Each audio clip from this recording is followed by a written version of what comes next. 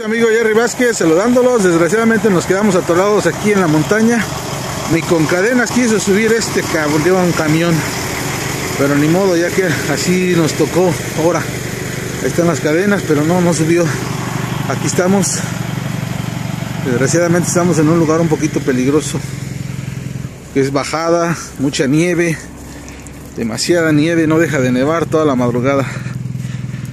Bueno, mi gente, ahí los dejo. Bendiciones para todos. Vamos a ver, aquí les viene el tow truck en la grúa para sacarnos de aquí. Bueno, saludos, bendiciones.